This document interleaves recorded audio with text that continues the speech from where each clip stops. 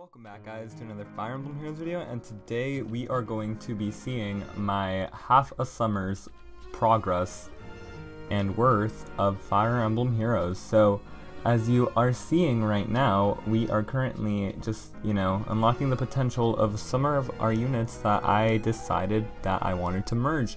So half of my summer's progress gave me a lot of feathers and I wanted to end up using them and merging my favorite heroes, or some of my favorite heroes. And I, in fact, wanted to do this before I left on my trip, which is why I was gone for so long.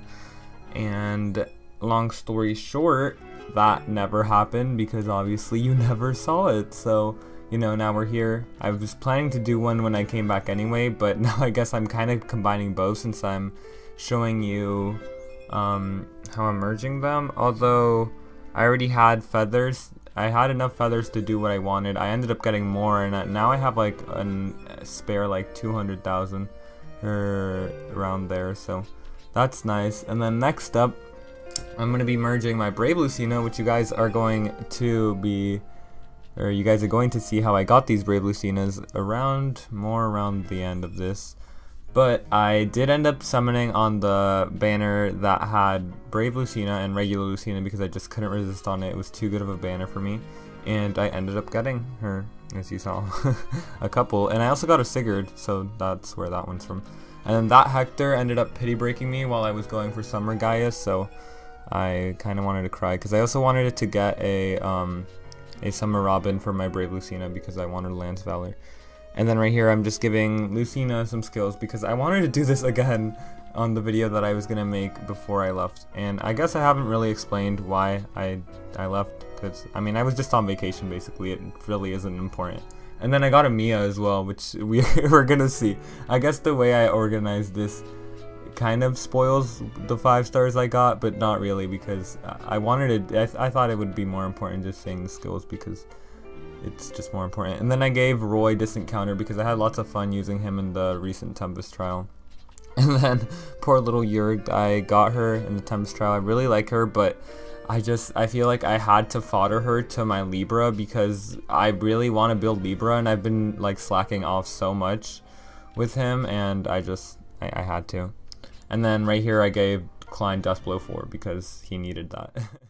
So anyway, quickly, what I ended up getting, Fallen Celica, she was uh, basically free summoned, that's all I summoned for her, and then I ended up getting her.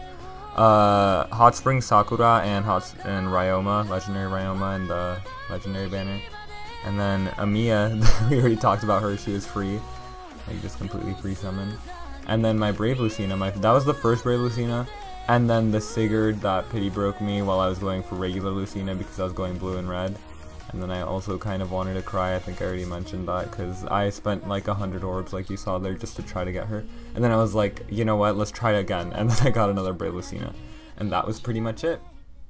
So I guess that sums up half of my summer's worth of Fire Emblem Heroes. I was on vacation, like I said, so, you know, although I was still on vacation, I said I wouldn't play any video games or, you know, really do much stuff, but I did end up sneaking a bit of Fire Emblem Heroes, you know, guilty as charged, and that's basically all I was able to do, even though it might seem like a little bit, I didn't really play that much Fire Emblem Heroes, and I also saw the new summer units, which I haven't summoned for because I want to summon for, for them in the video, also the new heroes that came out, from Three Houses, so I have quite a bit of things to do, and I hope to be able to explain more about my vacation and all that if anyone was wondering why I was gone and why it happened so subtly, because that sounds like something fun to talk about. I really just wanted to show you guys my progress in, you know, this half a summer, or even a little bit more than half a summer that I was gone and not able to show you anything that I did. So yeah, thank you guys for watching. I'm excited to be back, and I hope to see you guys in the next video.